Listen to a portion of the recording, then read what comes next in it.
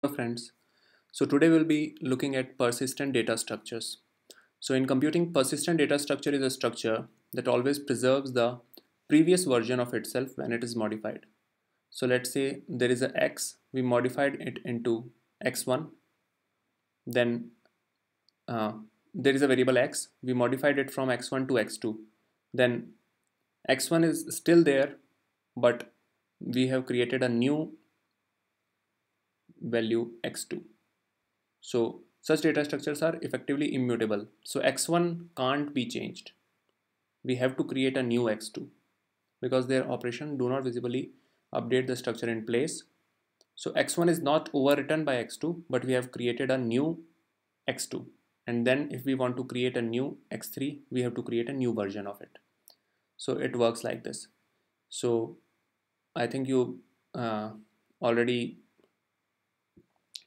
recalled what is similar to this. Uh, the Git or the Acquire versioning systems, they are similar to this uh, in the sense they have they are changing the uh, latest uh, version of code, but they are still maintaining the previous versions of code also. So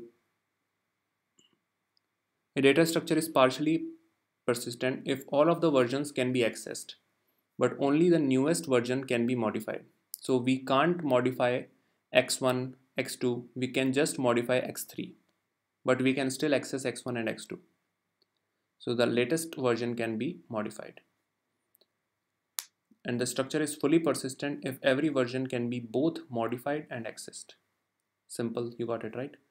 If there is also a meld or merge operation, as we see in Git, there is a merge operation so it can create a new version by combining two previous versions. So x1 and x2 it takes and creates a new x3 or let's say x4 if x4 is the latest version.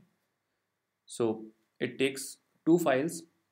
Let's say uh, there is a single file, sorry, and uh, I have changed line number 72 of the file and you have changed line number um, 82 of the file and created a version x2 I have created a version x1 then the git can merge both of the versions x1 and x2 and create a new version x3 let's say with changes in both lines 72 and, and line 82 so such a data structure is called confluently persistent and structures which are not persistent are called ephemeral.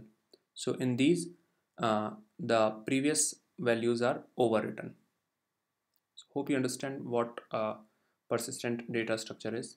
Thank you friends. Please like, share and subscribe.